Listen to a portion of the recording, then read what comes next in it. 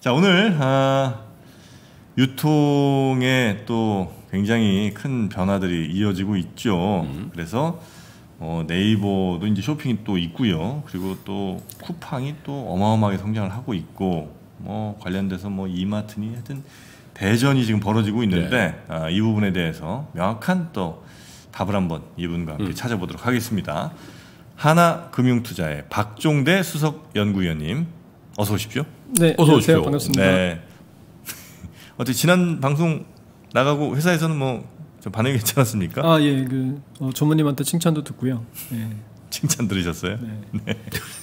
오늘도 네, 마지막에 광고가 부족했다고. 아 아, 저한테는 유- 저한테는 카톡 보내셔가지고 광고 잘해주셔서 감사하다는데 예, 그, 그나마 이제 해주셔가지고서 제가 들어봤습니다. 오늘 확실히 해드리겠습니다. 네. 자 일단 오늘 그 여러 뭐 회사들이 지금 계속해서 이제 유통 관련돼서 유통 관련돼서 뭐 지금 방금 말씀드린 네이버 쇼핑이니 뭐 쿠팡이니 뭐 이마트 쪽 예. 여기가 지금 제일 잘 나가는 업체들은 맞는 거죠? 아, 그렇죠. 예. 예, 신세계, 이마트. 신세계랑 이마트는 같은 회사인가요? 어, 같은 회사였다가 네. 아, 분리됐죠. 이게 그 후계 구도에서 네, 분리되는 네, 거죠. 네. 아 이마트는 이마, 그- 이마트가 만맥기. 정영진 네. 부회장 거고, 아 이마트가 정용진. 그 다음에 이제 신세계는? 신세계는, 정유경, 네. 그 동생 여동생이죠. 아 그럼 신세계 백화점이니 저 신세계 또 뭐 있죠? 인터내셔널 뭐 그런 거? 신세계 인터내셔널, 신세계 DF, 네. 아, 면세점. 면세점. 네, 신세계 그건 면세점이 이제 아, 그게 더 큰 거 아니에요? 어, 요즘은 커지고 있죠. 이렇게. 조선 호텔은요? 조선호텔은 이마트 겁니다. 이마트 거고. 아 이마트 거예요 어. 또 그는. 아 이마트는 그러면 이마트 있고 그 다음에 또뭐 있죠? 이마트는 뭐 있어요? 이마트가 어, 계열사들은 굉장히 많이 있죠. 신세계 푸드도 어, 음. 이마트 거고요. 그다음에 예. 조선호텔 어, 그리고 트레이더스, 아 이마트 그다음에 트레이더. 이마트 24, 이마트 24. 아 네. 편의점. 네, 편의점. 아. 예. 네.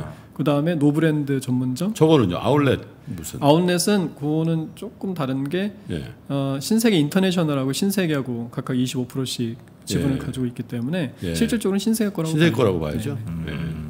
근데 어쨌든 거의 우리가 이게 느끼기에는 어떤 그룹은 대부분 장자 혹은 뭐 장남한테 이렇게 몰아주는 건데 잘 신세계. 그룹은 거의 페어하게 이렇게 나눠줬네요, 그죠? 네, 네. 예. 근데 기업을 나눠줬다는 표현은 좀 그렇죠. 지분을 그렇게 정리를 했네요, 그죠? 네. 예.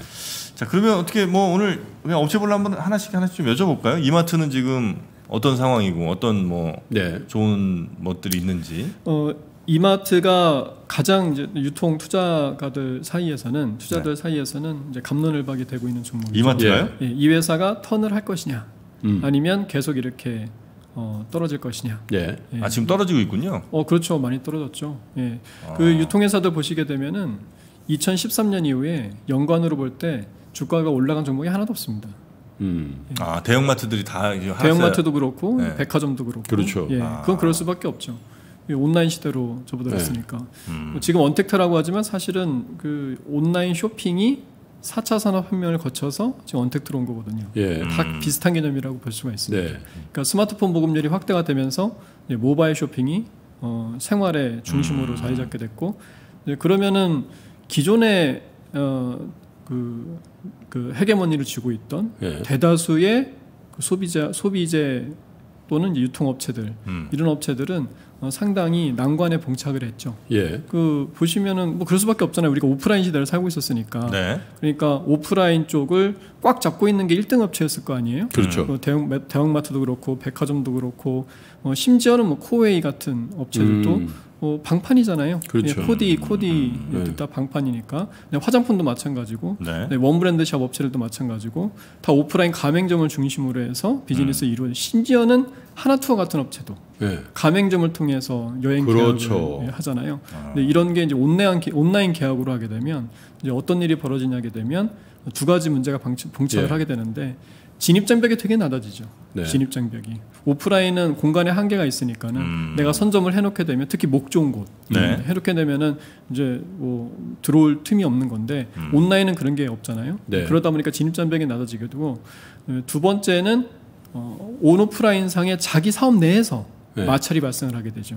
그러니까 가맹점주의 아, 이익을 보존해줘야 예. 되는데 음. 온라인을 함부로 수 없단 말이에요. 그렇겠네요. 네, 네, 네. 그다음에 한샘 같은 경우도 가구 대리점주의 이익을 보존해줘야 되는데 아 온라인 온라인상으로 온라인 막 그렇게 함부로 못 팔잖아요. cannibalization이 된다. 그렇죠. 그러니까는 어, 오프라인 업체들이 그 우왕좌왕하다가 무너진 업체들이 많이 있습니다. 안 좋아진 업체들이 많아졌고 예, 그걸 적극적으로 대응하는 업체들은 그래도 생존해서 그러니까 이런 거래요. 자동차에 테슬라는 아무것도 없으니까 치고 나가는데 예를 들면 도요다지 GM이 이런 거는 야 판매. 그러면 아 오프라인 저 아니 어, 저 화석연료 쪽 그 부문장이 훨씬 더 세니까 무슨 소리야 아직 때가 아닌데 이렇게 해가지고 이제 지체된 그럼 비슷한 거네. 맞습니다. 예. 그래서 지난 10년을 이제 되돌아보게 되면 그 경영진의 의사결정 예. 네, 이런 것들이 엄청나게 그 회사의 운명을 좌우하는 그런 사례- 사례들이 많다고 볼 수가 그렇군요. 있죠. 근데 지금 이마트는 그럼 어떤 선택을 했습니까? 이마트는 이마트는 사실은 잘 준비를 했어요. 특히 어, 식품이라는 그 카테고리의 특성이 음. 식품 온라인이죠. 식품 음. 온라인이라는 특성이 이 대형마트 대형마트를 전제로 하거든요. 네. 예, 대형마트가 있어야지 다른 다른 온라인 비즈니스는 온라인 유통은 어, 오프라인이 필요가 없습니다. 공산품 같은 거 그렇죠. 그냥 뭐 아, 예. 규격이니까. 네네. 아, 식품 사러 갔다가 이것저것 사 갖고 오는 거군요. 어, 그런 것도 있고요. 어, 식품은 그 제품의 특성상 특히 신선 식품, 네. 배추나 무, 사과, 뭐 배 이런 네. 것들은 어, 신선도를 유지를 해야 되잖아요. 음. 공산품이야 뭐 유통기간이 뭐 1년도 있고 2년도 있기 그렇죠. 때문에 음. 어, 재고를 갖다는데 아무런 문제가 없지만 신선 식품은 이게 한 며칠 지나면 신선도가 떨어지잖아요. 네. 그러면 못 팔아요.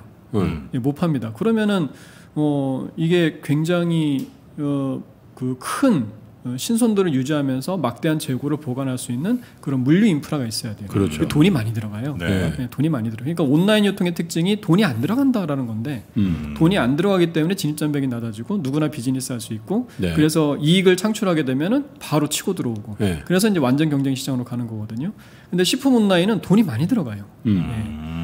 뭐, 뭐 CA 저장고 같은 거, 이제 controlled atmosphere라고 해가지고서 어, 거기에 거기에 들어가게 되면 사과가 6개월 동안 신선도가 똑같이 당도가 보존이 됩니다. 음. 산소를 빼가지고서 아, 탄소하고 질소만 가지고 있어요? 예, 예, 그런 게 있습니다. 그러니까 막 이렇게 물러지지도 않고 네, 그렇죠. 예, 이게 우리가 신선 어, 그 신선도가 떨어진다라는 개념이 이제 두 가지가 있는데 음. 하나는 이제 어, 그 시드는 거죠. 네. 시드는 거. 네. 예. 그런 것들은 이제 cooling system이라고 해가지고서 이 대형마트 가보게 되면 뭐 이렇게 수증기처럼 이렇게 막 네. 있잖아요. 그런 게 이제 물기 빠져나가면 시드는 그쵸, 거니까. 그쵸. 네. 그다음에 이제 두 번째가 산화되는 게 이게 잎이 누렇게 뜨는 거 있잖아요. 산소랑 만나서. 그렇죠, 그렇죠. 그게 더 심한 거죠. 그렇죠.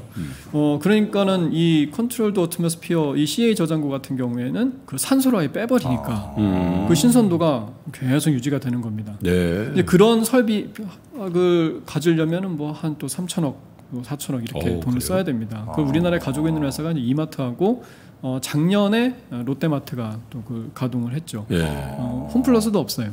예. 아 그래요. 네. 이제 그런 이제 인프라가 이제 필요하다 보니까 신선식품은 사실은 이제 지난 시간에 어, 표준화 말씀을 드렸던 것 같은데 네. 표준화가 잘 돼 있지 않죠. 가장 잘 돼 있지 않습니다. 음. 그러니까 PC하고 가전이 이제 가장 표준화가 돼 있고 어차피 삼성하고 LG에서 AS를 해주기 때문에 음. 뭐 어디서 사든지 가격만 싼 거를 네, 사는 그렇죠, 게 그렇죠. 예, 예. 최고예요. 그러다가 이제 생활용품, 그다음에 의류, 화장품으로 점점 더 카테고리가 온라인 유통이 확대가 됐습니다. 침투가 들어오기 시작했죠. 네.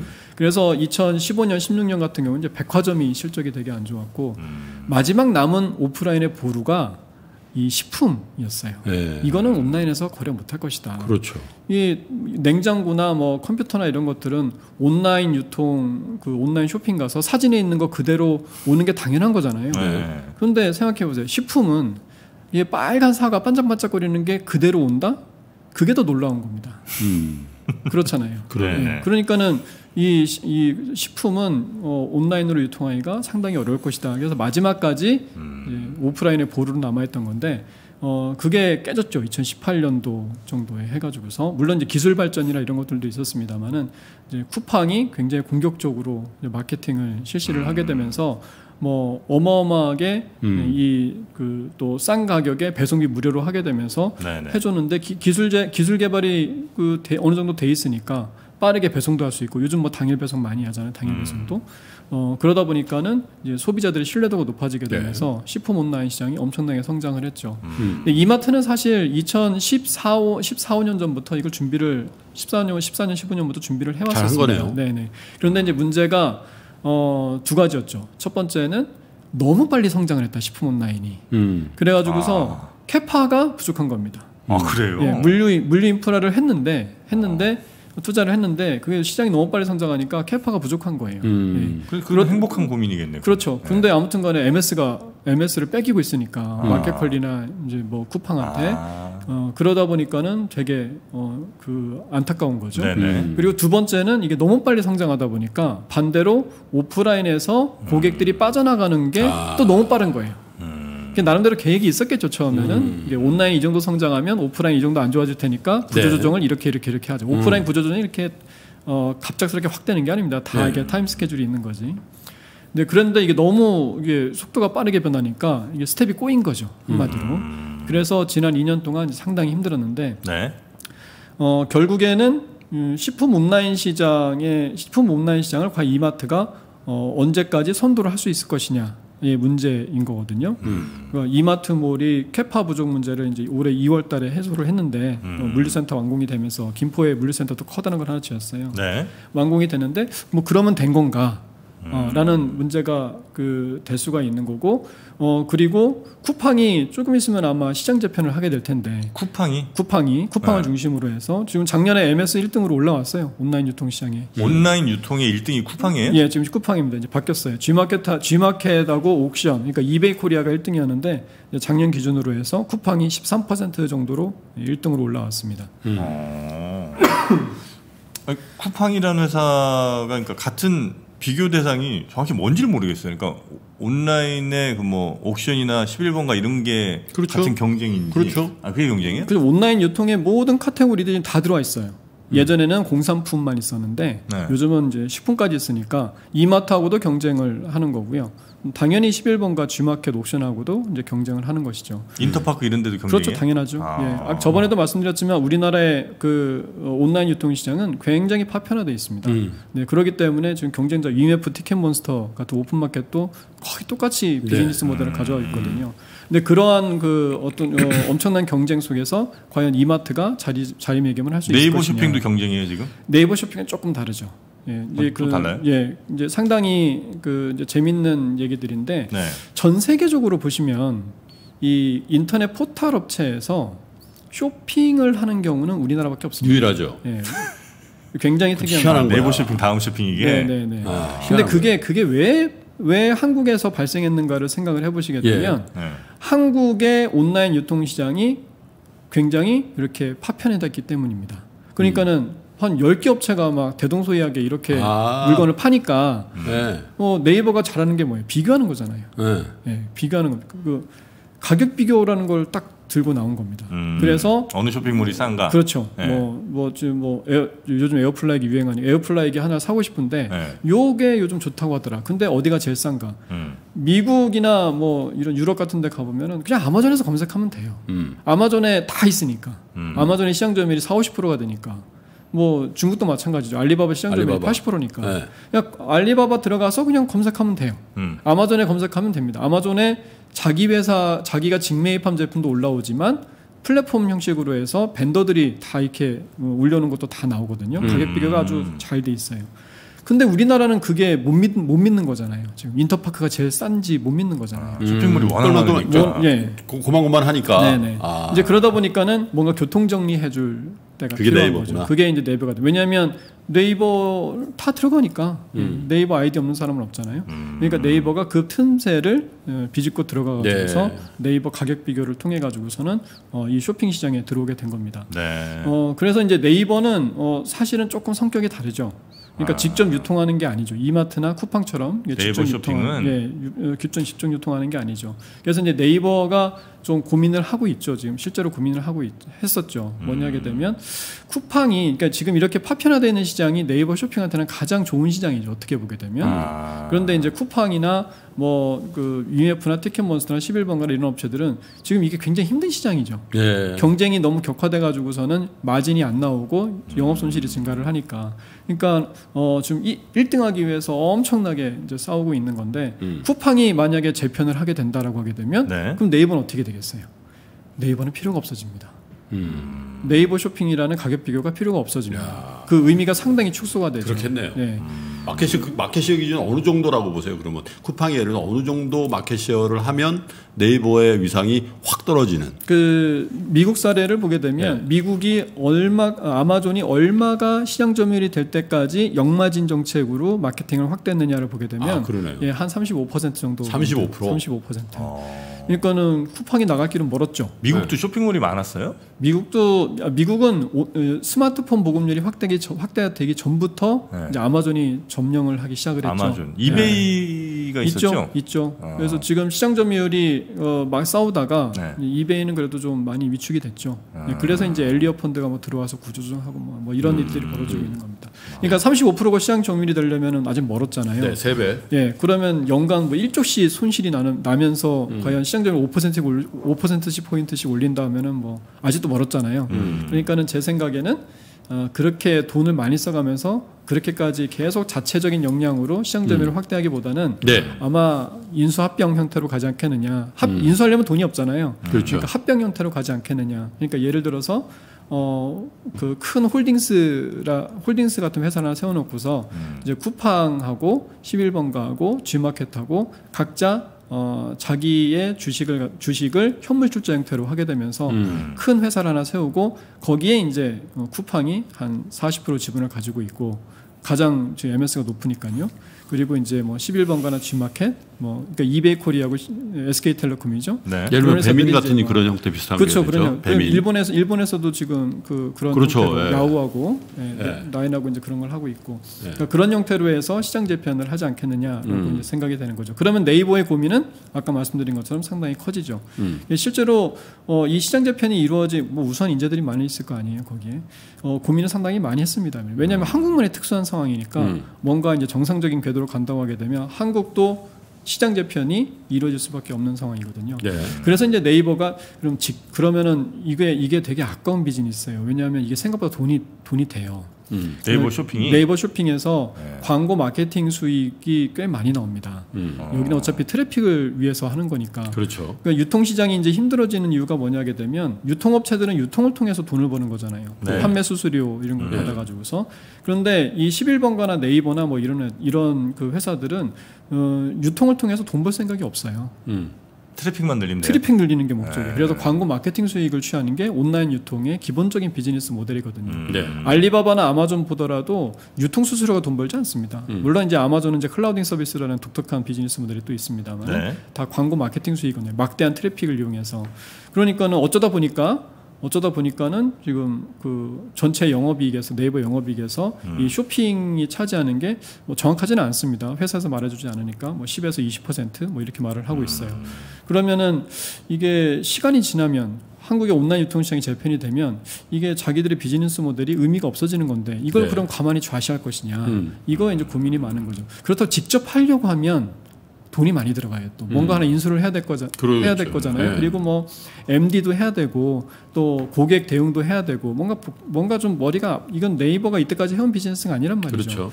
그래서 어떻게 할 것이냐 되게 고민을 많이 많이 했었는데 최근에 좀 방향을 정한 것 같아요. 네이버는 음. 어, live commerce라고 이제 최근에 출시한 live. Commerce? Live commerce죠. 그게 뭐예요? 그게 뭐냐면 예전에 오픈 마켓은 뭐 아시다시피 vendor들이 자유롭게 이렇게 올려놓고서는 올리고 장사를 팔고. 예, 하는 네. 거잖아요. 이제 네이버 쇼핑도 그런 오픈마켓 형태를 가지고 있거든요.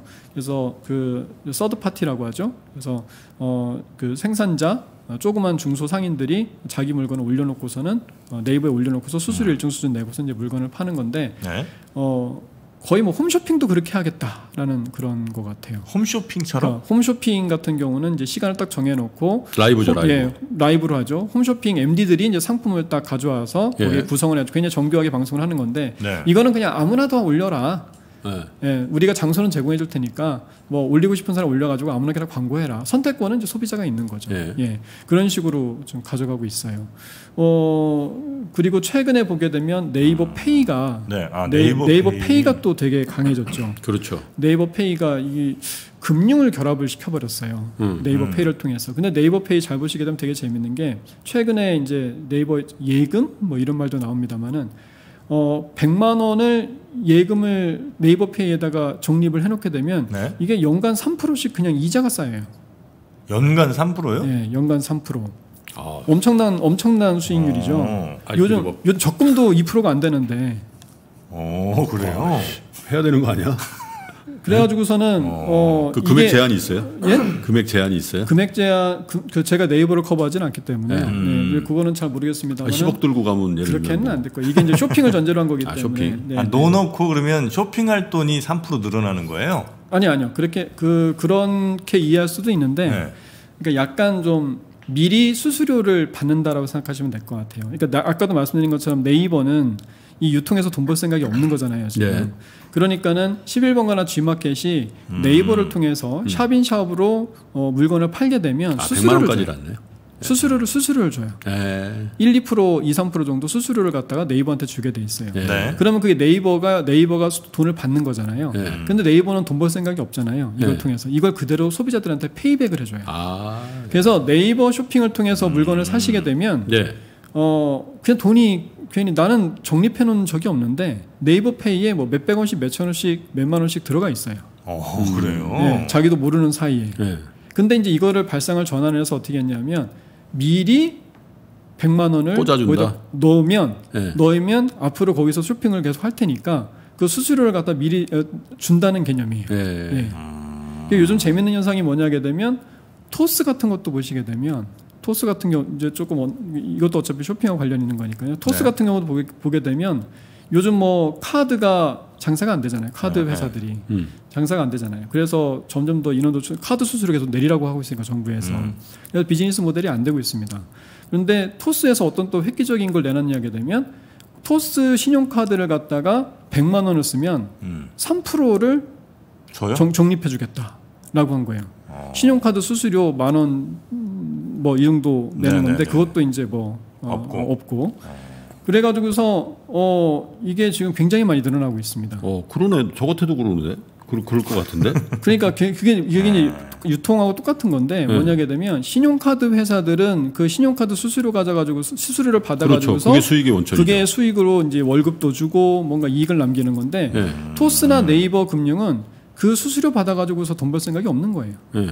그 그대로 소비자들한테 줄 테니까 네. 대신에 이제 뭔가 그런 데이터를 가지고서 뭔가 다른 비즈니스를 가지고 모델을 찾는 거죠. 음. 그러니까 유통업체가 지- 지난 한 그 10년 동안 있어 왔던 그런 역설적인 상황들 이런 것들을 갖다가 지금 또 신용카드 업계가 또 음. 있지 않을까라고 생각이 될, 되는데 네. 아무튼 네이버는 철저하게 어, 플랫폼 형식으로 해서 네, 플랫폼 형식으로 해서 이 유통업체들이 띄워놓을 수 있는 장소를 제공하는 방식으로 아마 계속 좀 가지 않을까라고 생각이 돼요. 그러면은 이마트나 이제 백화점 같은 업체들은 잘 보시게 되면 어 이게 오프라인에서는 유통인데 네. 백화점이나 그 이마트가 음, 음. 이게 온라인으로 가게 되면 사실은 컨텐츠 성격이 강해요.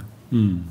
무슨 말이냐면 네. 11번가에서 루이비통이나 에르메스를 절대로 살 수가 없습니다. 음. 루이비통이나 에르메스는 절대로 11번가나 지마켓한테 제품을 주질 않죠. 그렇죠. 하지만 소비자들은 이런 이제 점자 명품 프리미엄 제품들도 온라인에서 사고자 하는 욕구가 있죠. 예. 그러니까 온라인 유통업체들의 가장 큰 현안은 소비자들이 원하는 모든 카테고리를 다 제공해줘야 되는 거예요. 네. 그런데 일반적인 공산품은 가능하지만 이런 명품들은 안 되는 거고 음. 그렇기 때문에 백화점 업체들이 이런 MD 능력이 있잖아요. 그렇죠. 그러니까는 서로 상생할 수가 있게 되는 겁니다. 음. 어떤 의미에서는. 예. 그리고 어, 11번가나 G마켓이 식품도 소비자들이 원하지만 이거를 제공할 수가 없어요. 인프라가 안 되기 때문에. 음. 그러니까는 이마트가 샵인샵으로 들어가서 11번가에 네. 샵인샵으로 들어가서 어, 11번가에 트래픽을 올려줄 수가 있는 겁니다. 음. 그래서 어, 백화점이나 대형마트 같은 업체들은 이 온라인 유통하고 어떻게 보면은 경쟁 관계이기도 하지만 어떻게 네. 보게 되면 상생 관계이기도 할 수 있고. 네이버하고는 100% 상생 관계입니다. 예. 네이버는 어차피 자기들이 직접 뭔가를 하질 않기 때문에 네. 그래서 어 현, 지금 보면은 신세계하고 롯데하고 이마트하고 현대백화점이 각각 다 다른 이 온라인 대응 방식을 펼치고 있어요. 예. 네. 그 경영 경영진의 마인드하고 이제 각각의 음. 사업 구조에 따라서 근데 이마트는 신선식품을 어, 딜, 그 핸들링하고 있기 때문에 네. 이제 신선식품은 아까 말씀드린 것처럼 굉장히 어, 막대한 투자가 필요하고 네. 그리고 나름 그, 또 MD 능력도 굉장히 필요하고 하기 때문에 어 그 자체적인 모를 구축을 해가지고서 전개를 하고 있는 거고 다른 데들은 그런 모를 구축하는 게 별로 의미가 없습니다. 제가 생각하기에는. 쿠팡 같은데요. 예, 쿠팡은 좀 다르죠. 쿠팡은 1등 업체가 됐어요. 아, 롯데라든지 예. 롯데라든지 현대라든지 아. 뭐 이런 신세계 몰 같은 경우에도 결국에는 합쳐졌잖아요. 네. 이마트하고. 그러니까 식품이라는 거는 우리가 늘상 소비하는 것이기 때문에 네. 음. 어, 항상 매일 이렇게 그 가게 되는 것들이 있거든요. 네. 이게 정기 배송, 이제 서비스나 이런 것들이 필요할 수가 있단 말이죠. 음. 근데 그렇기 때문에 식품은 나름대로의 포털 성격을 가질 수가 있어요. 음. 이 온라인 유통, 온라인 쇼핑에서. 음. 그런데 일반적인 공산품들은 우리가 네이버에서 가격 비교하잖아요. 그러니까는 절대적인 MS를 가져가지 않으면 의미가 없는 겁니다. 음. 근데 지금 절대적인 MS는 뭐 백화점 업체들, 홈쇼핑 업체들 다 온라인물 있습니다만은 나는 무조건 온라인 쇼핑을 할 적에는 어 뭐 롯데 온에 들어간다 이런 사람 없거든요. 네. 네이버로 들어가죠. 그렇죠. 네. 아니면 요즘 이제 조금씩 쿠팡이 이제 점점 그런 네. 자리를 네. 이제 꿰어차기 시작을 했단 네. 말이죠. 그렇기 때문에 어 웬만한 그 오프라인의 대형 강자들은 온라인 상에서 의미 있는 유통업체가 되기는 힘들고 아. 오히려 백화점이나 이마트는 그 특 그 특징적인 카테고리를 통해서 음. 콘텐츠 성격으로 온라인 유통을 대하는 것이 맞다라고 이제 볼 수가 있, 겠습니다 예. 음. 야, 오늘도 얘기를 이렇게 재밌게 듣다 보니까 네. 시간이 굉장히 많이 지났는데 예. 아직도 남은 얘기가 이렇게 많네요. 예. 아니 그 마켓 컬리도 여쭤보고 싶고. 네. 예? 네, 마켓 컬리 되게 티켓 중요해요. 몬스터 인수합병 뭐 그 얘기는 어떻게 되는 거며 네. 뭐 팔린다 뭐, 뭐 롯데에서 산다 뭐 이런 얘기 있었잖아요. 네, 네. 그래서 이제 그 머리가 아프죠. 이게 안 가본 시장이기 때문에. 네. 네. 그래서 근데 이제 롯데나 이마트나 다 그 티켓몬스터 그다음에 마켓컬리 한번 눈여겨 봤거든요. 예. 근데 이제 그네들이 생각하기에 딱 보니까 이게 아시다시피 어 인터넷 유통은 어 자산이 없어요. 없죠. 자산이 없어요. 그러면 이제 인수를 하려면 기업 가치가 있으려면 예. 자산 가치가 있든지 사업 가치가 사업 가치가 있든지 둘 중에 하나 있어야 되는 네, 거잖아요. 네. 근데 자산 가치는 없어요. 그럼 사업 가치가 있어야 되는 적자고. 거죠. 예, 사업 자 사업 가치가 있어야 돼요. 사업 가치가 있으려면 현금을 지금 창출하고 있거나 예. 아니면 미래 현금을 창출할 수 있어야 되는데 예. 시장 점유율 시장 점유율 뭐 5% 7% 가지고서는 안 될 것 같거든요. 그렇죠. 예. 의미가 없어요. 온라인 유통은 절대적인 시장 점유율이 아니면 네. 어, 큰 의미가 없습니다. 음. 어 그러니까는 그럼 차라리 내가 하면 되지. 음. 뭐 이렇게 된 거고요. 음. 싸게만 하면 네이버 검색에 바로 나올 테니까. 그리고 이제 딱 보니까 사람들도 문화가 달라. 예? 롯데에서 조직의 문화 같은 예, 거 롯데에서 이거 티켓 몬스터 하려니까 대화가 안 돼. 그런 것도 있겠지. 네네. 그다음에 이제 이마트도 마켓 컬리를 보는데 네. 어 굉장히 이제 뜨고 있으니까 한번 가봤단 말이죠. 음. 봐- 보니까는 이거를 내가 왜 무형 자산을 사야 될까? 이게 M&A 한다는 것은 사업 가치를 그 자산 가치가 없을 때 어, 산다는 것은 결국엔 다 무형 자산을 사는 거나 그렇죠. 마찬가지거든요. 영업권을 사는 거죠. 네. 근데 내가 내가 다 할 수 있는 건데 내가 뭐하러 이걸 사지 이렇게 된 거예요. 아주 상품, 충성도 높은 고객들만 있는 것도 아닐 거고. 그 상품 네. 그죠 상품도 오히려 더 그 상품은 이마트가 더 잘 가져올 수가 있죠 전국에 음. 다 네트워크가 있으니까 그다음에 새벽 배송인데 새벽 배송은 이마트가 안 한 거지 못한 게 아니거든요 하면 되지. 예 daytime에 일반적인 낮에 이제 할 게 워낙 많이 있으니까 음. 예, 새벽 배송을 안 했던 거죠 새벽 배송 또 배송료가 비싸요 음. 그 지입차 이렇게 쓰는데 아저씨들이 비쌀 거 아니에요 네. 그리고 새벽 배송은 엄격하게 생각해 보게 되면 그게 사실은 핸디캡이에요. 음. 무슨 말이냐면 아까 말씀드린 것처럼 식품은 신선도가 떨어지면 못 파니까 온라인상에서. 네네네. 그러니까 이거 웬만한 물류센터가 없게 되면은 이게 다 어, 그냥 폐기해서 버려야 되는 거예요. 네. 아. 그러니까는 어떻게 돼요? 그런 물류센터가 없는 쿠팡이나 마켓컬리 같은 경우에는 이거 내일 모레 당장 팔아야 되는 거예요. 아. 그러니까는 어쩔 수 없이 새벽 배송을 해야 되는 거예요. 예. 그러니까 김슬아 대표가 되게 이제 훌륭한 점이 뭐냐게 되면 그런 핸디캡 신선식품의 특별한 핸디캡을 갖다가 그걸 마케팅 포인트로 전환하는 겁니다. 마켓 컬리 대표죠. 그렇죠. 김대표. 예, 예. 그러니까 그런 게 굉장히 훌륭한 아이디어죠. 음. 근데 그게 이마트한테는 그렇게 필요가 없다라는 거죠. 음. 그러니까는 이 마켓컬리가 어, 상당히 애매해졌죠. 투자가들 사이에서는 음. 어, 이게 과연 나중에 현금을 창출할 수가 있을 것인가라는 네. 좀 생각이 좀 드는 거죠. 네 네 네. 야, 근데 다음 순서 때문에 우리 박종대 에, 유통 희열이라는 닉네임이 벌써 생기셨는데 유희열 닮으셨다고. 네, 그래서 유통 희열. 오, 오늘은 여기까지 좀 하고요. 네. 그 마, 마저 못 저 못 보신 내용이나 이런 것들은 네. 하나 TV 가서 일단 좀 보시고요. 아 네네네. 네, 그걸로 이제 예, 전곡을 찌른 질문이 좀 부족하다. 네. 이런 분들은 다음 주에 또 3프로 TV를 보시고 이렇게 선순환 구조로 네 네네. 예, 예. 그럼 되시겠죠? 네, 네. 저희 하나 TV에 아주 인텐시브한 네. 이제 그런 강의들이 네. 자료들이 많이 있으니까요. 예, 찾아주시면 감사하겠습니다. 조 네. 전무님 그렇게 하라 그러셨군요. 네, 네. 네, 이 3% 고객의 3% 조, 3% 구독자의 한 30%만 네. 하여튼 어, 예. 열심히 해주시고 네. 또 우리 시청자분들 가시면 또잘 어, 설명 친절하게 좀 예, 부탁드리겠습니다. 예, 예, 네. 감사합니다. 고맙습니다. 네, 함께 해주신 우리 박중대 연구위원님이었습니다.